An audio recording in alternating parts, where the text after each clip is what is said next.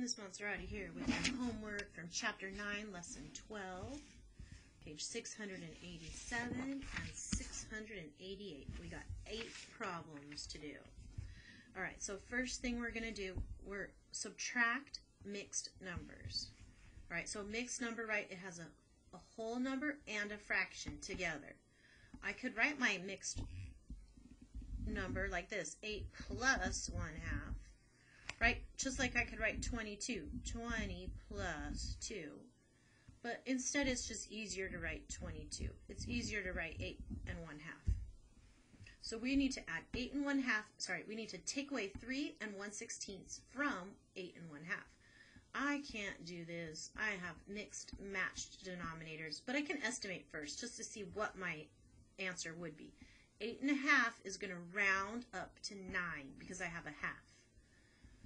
Right, when I get to one half, I round up. If I'm at half, less than a half, I round down. Just like in the other, in whole numbers, right? When we got to five, we rounded up. Four, three, two, one, I round down. So my three and one sixth, right? This is very, very small. One sixth of something. It's very small. It's a unit fraction. So whenever I have a unit fraction, unless it's one half, I'm going to round down. So we rounded down to 3. 9 take away 3 is 6. That's my estimate. So first I'm going to change my denominator here. I'm going to change it, sorry, I'm going to change one of them, right? I'm going to change my 2 to a 6. So my 8 and 1 half, I'm going to change it to 8 and something sixths. So I take my 2 and I multiply it by 3 to get 6. So whatever I do to the bottom, I have to do to the top. So the top I also multiply by 3. 1 times 3 is 3. Now I have 8 and 3 sixths. Now I can subtract, right? It's kind of like similar when we have to borrow in math for subtraction, right? I need to make my numbers be able to work together. So here's 8 and 1 half turns into 8 and 3 sixths. 3 and 1 six, 6 stays 3 and 1 6. Notice they put the negative sign with the number. So we know we're subtracting this number from that number. All right, so here I had 8 and 1 six, 8 and 1 half, take away 3 and 1 6 is equal to 5 and 2 sixths, or 5 and 1 third. So right, all I did is I took away my 8 from my 3. Boop, I got 5. Here, this is 3 sixths now, right? I changed it. I did an equivalent fraction. Now this is going to be 3 6. 3, I do 6 6 6. 3 take away 1 is 2. So I have 5 and 2, 6, which can get smaller. Right? I divide by 2. I divide by 2. 2 divided by 2 is 1. 6 divided by 2 is 3. Final answer, 5 and 1 third. Is 5 and 1 third close to 6? Well, 5 and 1 half would be closer to 6, but eh, it's close enough. My dad used to like to say, it's close enough for government work. Not that we're doing government 6, take away 2, right? This one I can just straight across subtract. Oh, it does say to estimate first, then subtract and write the difference in simplest forms. So 6 and 5 eighths. 4 eighths would be 1 half. So I'm going to say this is closer to 7. 2 and 3 eighths. 4 eighths is 1 half again, right? So this is closer to 1 to 0. So I'm going to say leave this at 2. So I'm going to say 7 take away 2 is 5. Now I'm going to do my real math. 6 take away 2 is 4. I know my denominator of my fraction is going to be 8, right? 8, 8, 8. 5 take away 3 is 5. And right, 5 eighths, I would round that up, so I would turn this into a 5. So this is about 5, and it works. That was a good estimate. estimate. All right, so here, my next problem. I have to change these, right? They have a 4, a 3, and a 4 on the bottom. One way to change them is just to multiply them times each other to figure out my common denominator. 4 times 3 is 12, which in this case does work both ways. So I'm going to find first my my estimate. 9 and 3 fourths is closer to 10. Where can I write it? And I'm going to take away 1 and 1 third, right, there's my unit fraction, and it's not 1 half, so I'm going to say this is going to be closer to 0, so we're going to take this as 1. 10 take away 1 is 9. Now I'm going to, for real, subtract. Well, first I'm going to convert my numbers. So 3 fourths, I'm going to make a 12 and a 12. So I multiplied here times 4 times 3. I have to multiply my top times 3, 9. I multiply here times 4. I have to multiply my numerator by 4. 1 times 4 is 4. Now I can subtract. 9 take away 1 is 8. I know my fraction is going to have a 12th on the bottom. 9 take away 4 is 5. 5 twelfths cannot simplify, so that is my final answer. 8 and 5 twelfths. So 6 twelfths would be my half, where I would round up to 9. Here, I would round this to 8. Is 8 about 9? That's about 8 and 5 halves. Twelfths is even closer to 9. Sorry, I should have written the 5 twelfths in there. All right, now I'm going to do this problem. First, I'm going to estimate 4 and 5 6. It's almost 6 6, so it's almost 5. And I'm going to take away 4 and 1 third. Oh, that third, I'm going to just get rid of it and turn this into a 4.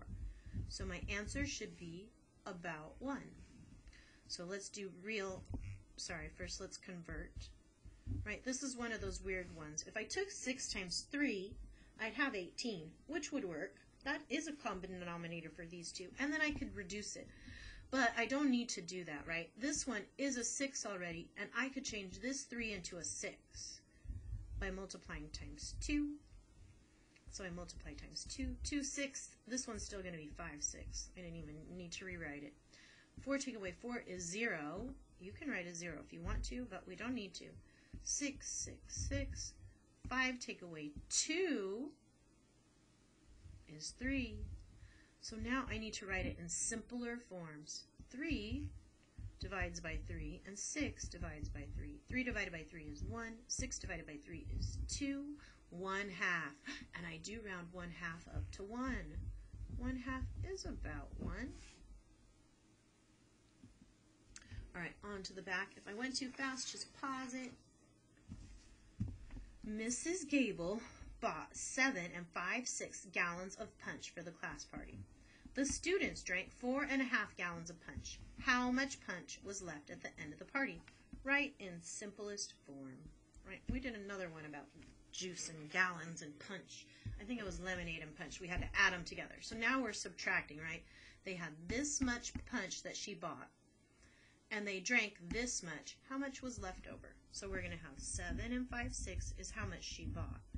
They drank 4 and 1 half gallons, and how much is left over. So let's mosey on over here to do our math.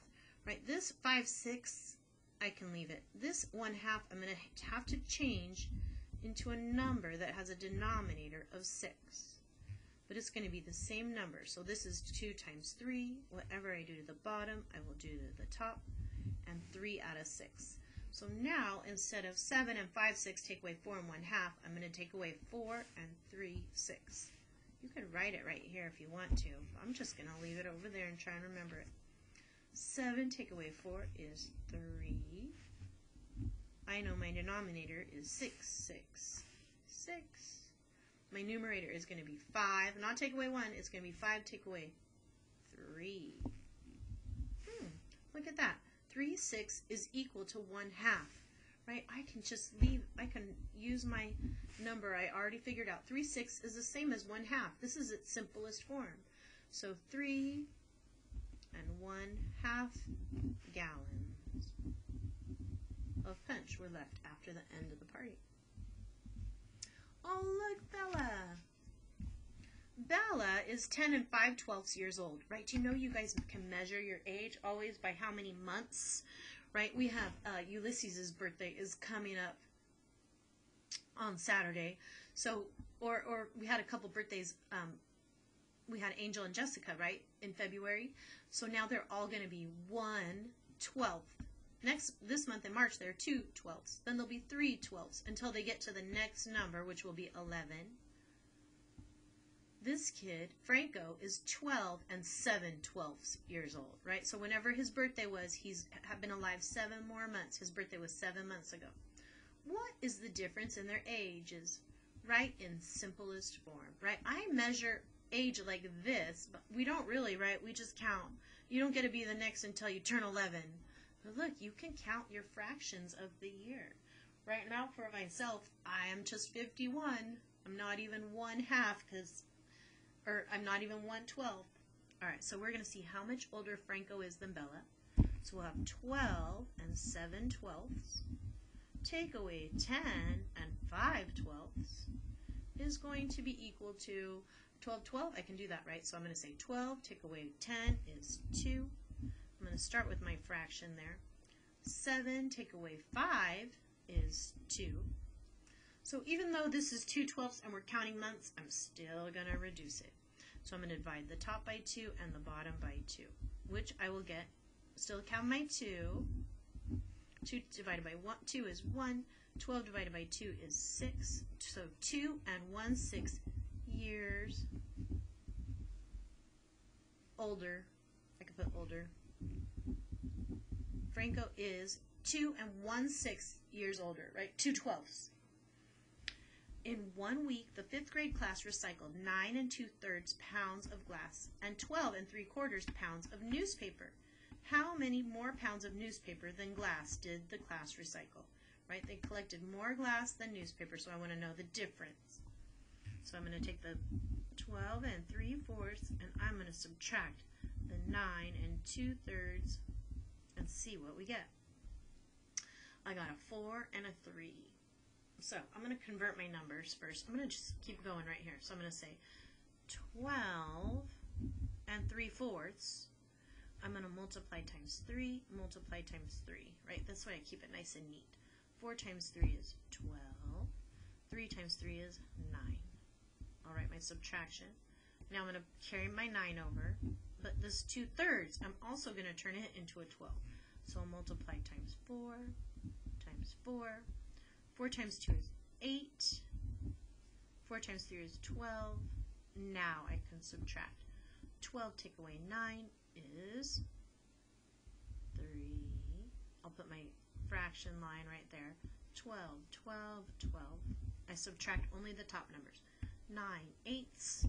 9 take away 8 is 1.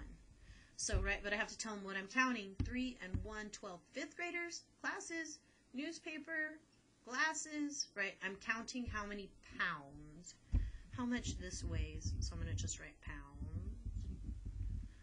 I know you guys know this, but, right, I could abbreviate pounds like this. LBS means pounds. Two more. A snack mix recipe calls for 5 and 3 fourths cups of cereal and 5 and 5 twelfths cups less of raisins. How many cups of raisins are needed? Write in simplest form. All right, so these are these weird problems, which you wouldn't do this, but all right, we'll just pretend like we did.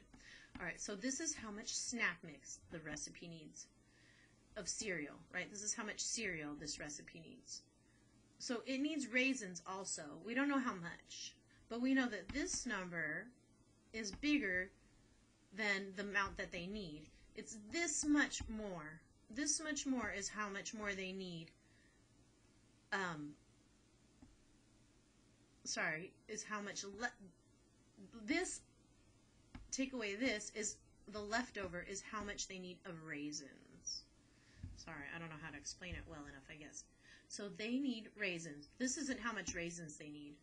This is how much more there is of cereal than of raisins, right? There's less raisins. So I'm going to just take my 5 and 3 fourths for my cereal, and I'm going to subtract 3 and 5 twelfths. Right? This is where I don't like it. I feel like they're trying to trick you on this problem, but this problem isn't just tricky. It's like, what? Why would anyone say it like that? We wouldn't. We wouldn't say it like this. We'd say, you need this much cereal and this much raisins. But we're practicing our math, so that's why they're asking us like this. I'm going to convert my 5 and 3 fourths to something with a 12. So now I'll have 5 with a 12 in the denominator. So I multiply by 3, I multiply by 3. So 3 times 3 is 9. 3 times 4 is 12. I already have it there. Now I'm going to just move this number over. It already has 12th on the bottom, so I can just move it over. Just so my math is nice and close together. Equals. So now I can subtract. 5 take away 3 is 2, right? I just subtract those like normal, normal numbers. Write my fraction line. 12 is the denominator, right? 12, 12, 12. And I have 9 take away 5 is 4. But hopefully you can see I need to make this simpler because 4 goes into 4 and 4 goes into 12. So we will divide by 4 equals 2. 4 divided by 4 is 1. 12 divided by 4 is 3. 2 and third, 1 third, what? Right, remember we can abbreviate cups with the C. Alright, what is the difference between the two weights? So you could see there's this calculator and then I don't know what this is, an MP3 player or something. This weighs 4 and 1 half ounces. This weighs less, only 3 and one eighth ounces. They want to know the difference. So the difference between two numbers is how much it would take this number to get to this number or this number to get to that number.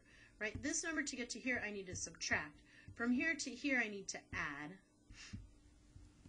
so I'm going to do my, because I don't know what I would add to it to get this number. Right, I know what I'm going to subtract to get my answer. I'm going to take this number, take away this number, it'll be my answer. But now these numbers are going to be a fact family.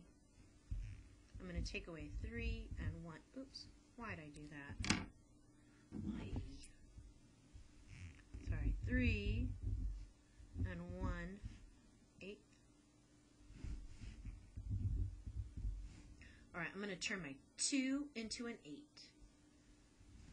So now I'm going to have 4 and 4 eighths. Right, I took the bottom times 4 and the top times 4. So now I have 4 and 4 eighths.